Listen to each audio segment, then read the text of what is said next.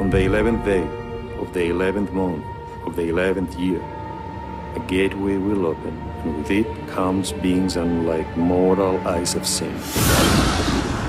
And on this day, innocent's blood will spill. And from this sacrifice, the serpent will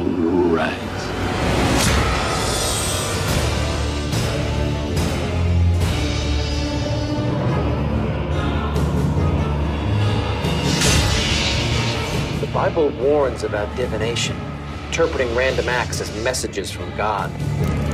If something is trying to get your attention, it's not holy.